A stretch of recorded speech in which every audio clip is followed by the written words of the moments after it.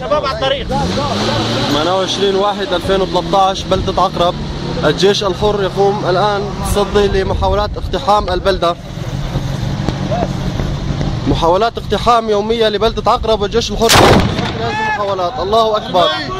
28 واحد ارمي خالد ارمي. 2013 بلدة عقرب.